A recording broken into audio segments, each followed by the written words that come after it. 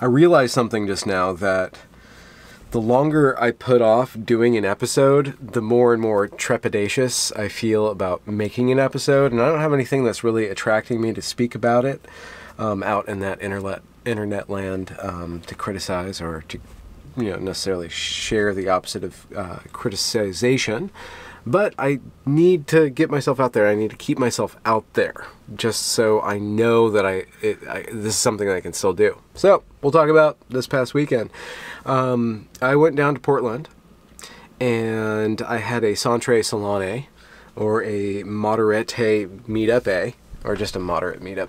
And we met at the Lucky Labrador, and I met this wonderful man who's uh, Portland famous, which is a thing. I mean, you can be internet famous, and then you can be Twitter famous, um, and then you can be academic famous, and then you can be Portland famous. And this wonderful man, Andy Ngo, is down in Portland, and he's uh, basically chronicling the uh, shenanigans that happened in there, specifically about maybe about free spe speech issues, maybe about free speech issues, or about, I guess he chronicled Antifa, who was outside of the Jordan Peterson rally. What?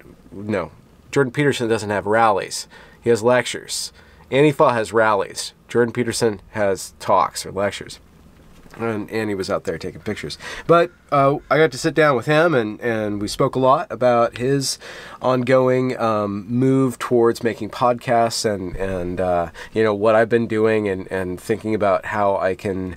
Uh, you know, make a footprint in this growing um, kind of movement, uh, not not a political movement or ideological movement, but the movement of people just creating content for other people to consume on demand. And we'll get to that because that's what Jordan Peterson talked about on Monday, which was last night. But on Saturday, we had our moderate meetup, and I got to meet a lot of uh, really cool folk in Portland. And one of the one of the refrains that I heard about the people who showed up to the Centray Salon was that they had been several people said I was a good progressive, and then things got weird. Um, so it's, it's, really interesting to see this uh, this red pill phenomenon happen, where you know a lot of us during the George W. Bush era were strongly anti-war uh, and saw the way that the Republican executive branch was acting, and were rather upset by the lying and the scheming that was going on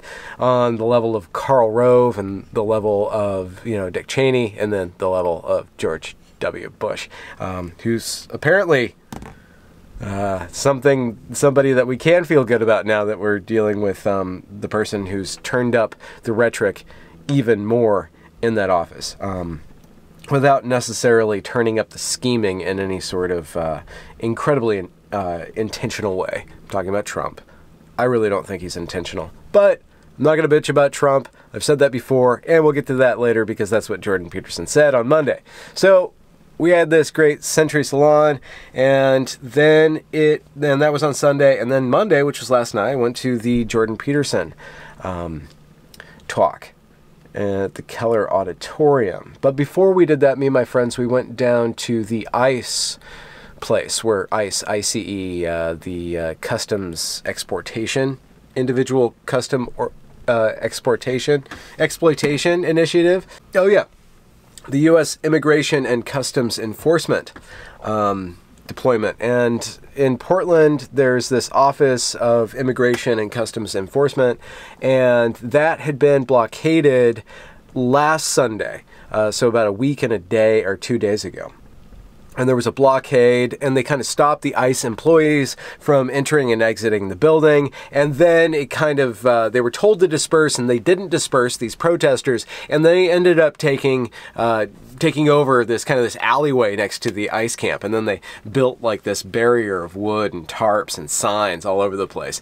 And uh, they they're camping out and they've organized kind of like this this uh, this camp ground. And they have security and communications and people donating food. They have a shower now and a daycare. And apparently the operation itself is uh, was pretty uh, impressive from one of my organizationally minded friends.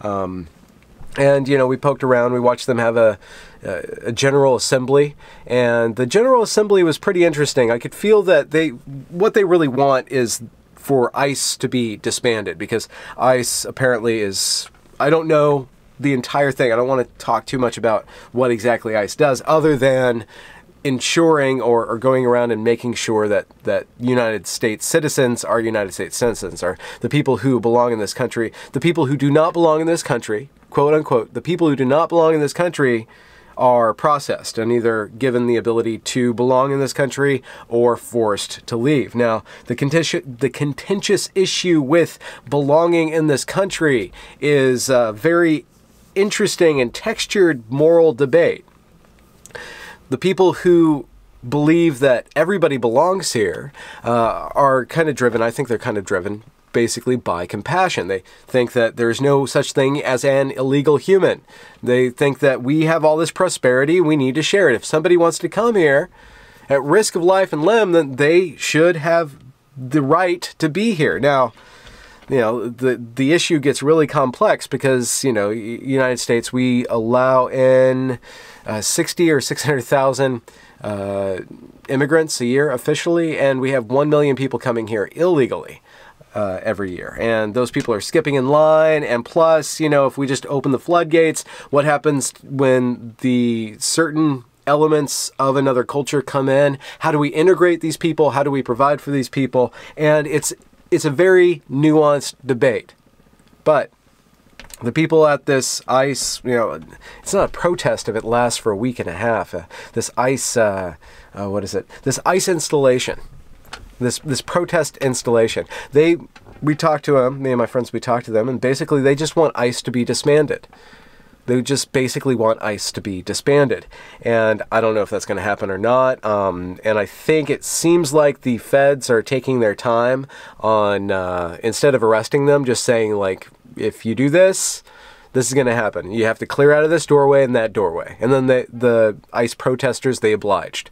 Um, but they still are there, and the ICE offices are in kind of like a semi um, operative state. And plus, there's one other part of this whole deal that's kind of skipped over is that there are people who need to go to this office. People who are immigrants, uh, illegal or probably illegal, or people who are being processed by ICE. And if they don't show up at this office on time and do the paperwork, then their whole proceedings are stalled. So there is a definite possibility that this protest is actually doing more harm than good, though we'll see if the media attention picks up and if it becomes like an Occupy ICE thing, um, similar to the Occupy Wall Street movement. Now, one other thing about this General Assembly of ICE installation protesters.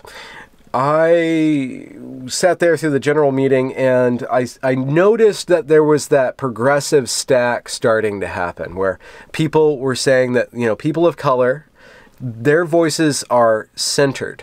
Their voices need to be first. And then somebody was transgender is like, well, the transgender people, and there's only like 80 people there, so I wonder exactly how many trans people are, are in this population at this ice installation, but they're not feeling heard. And so it seems like the group has to spend a lot of time and energy making sure that certain groups are heard and represented and followed, right?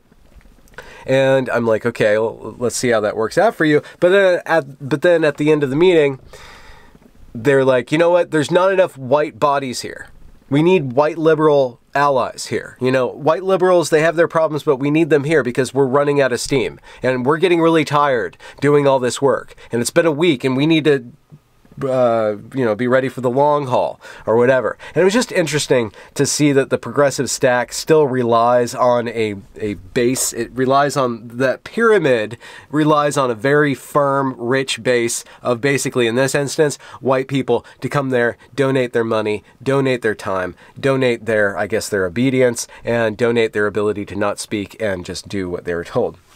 That was interesting. And there so I think Antifa has something to do with that and the Socialist Party in Portland has something to do with that. But uh, kind of along the same uh, I guess thematic principle that of that which animates the uh, progressive movement in Portland there was also a protest for Jordan Peterson planned. And that that happened. I, I we got there we got in line, me and my friends, we got in line the, for the Jordan Peterson event, and there were people. Um, and they're shouting. There's, oh man, there's barely 20 protesters, and there was about 3,000 Jordan Peterson viewers or audiencers. And the protesters, they were shouting this and they're shouting that. Uh, you got to look up Andy Ngo's. Well, I guess we can do this. There was a sign that said infinite genders. It just said that. Infinite genders. I don't know if that's a proclamation or some sort of request or just like a new flavor of Ben and Jerry's ice cream. Infinite genders. And my question is, is that if something is infinite, it's no longer a category. So you just want an infinite amount of categories, which basically says that you don't want a category to be there. So why would you need gender in the first place if you want to abolish gender? So it just seems kind of contradictory to me. And then there was stuff about, you know, uh, hey, hey, ho, ho, uh, you know, white, no violent men or something like that. Okay, let's look this up. Let's look. Andy. Andy Ngo. Sweet guy. I'm going to not bother him, but I'm going to try to get him on my show because he's got some. I, I really like his viewpoint, and he's got some cool stories too. Uh, let's go at his Twitter. Infinite genders, they were shouting. As many genders as we want. My body, my choice.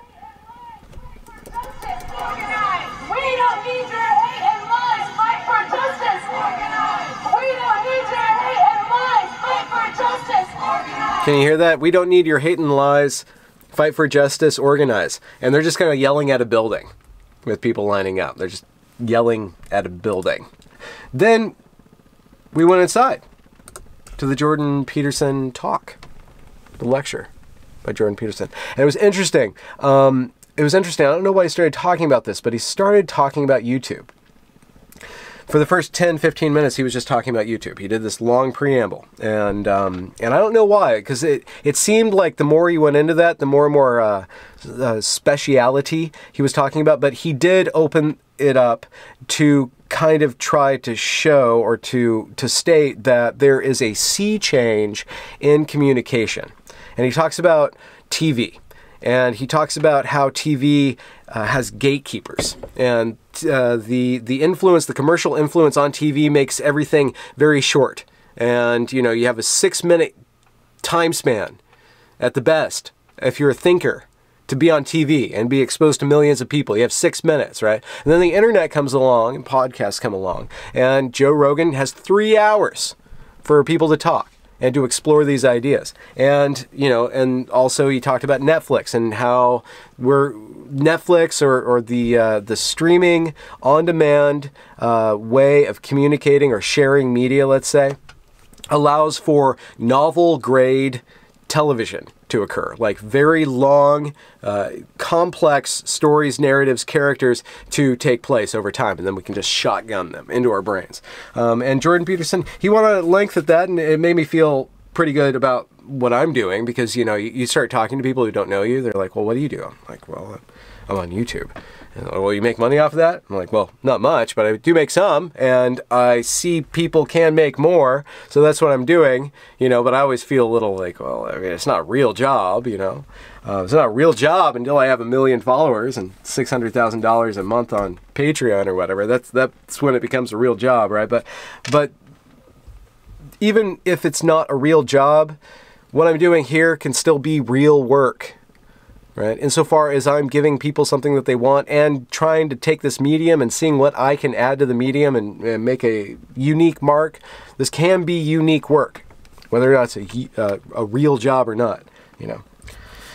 Um, and then he went on to other things, and he had, it was, I saw him, I saw Jordan Peterson at the Seattle Moore Theater, and I saw him uh, last month, and then I saw him yesterday in Portland. And for whatever reason, I think that his talk at the at the Keller Auditorium in Portland was better, and I think that that had to do something with uh, it had something to do with two things. One, on just a purely aesthetic level, I liked the Keller Auditorium a little bit more. I mean, it wasn't as artistic, it wasn't as cozy as the Moore Theater, but it was cleaner and it was bigger and it was broader and it was wider, um, and it felt like uh, it it was more professional setting for him. And I think that that might have a way, something to do with the quality that I felt uh, aesthetically overall about his talk. But the other thing that had happened is that he had just gotten done with two two and a half hour talks or debates with Sam Harris.